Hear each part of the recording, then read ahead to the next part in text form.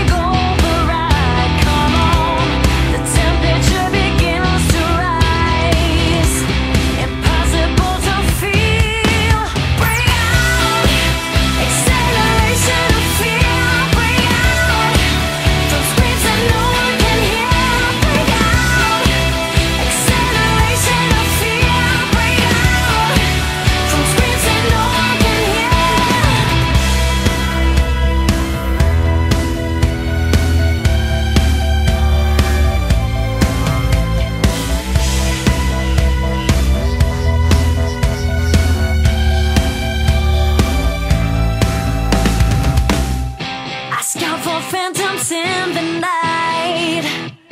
The mercy game of wrong.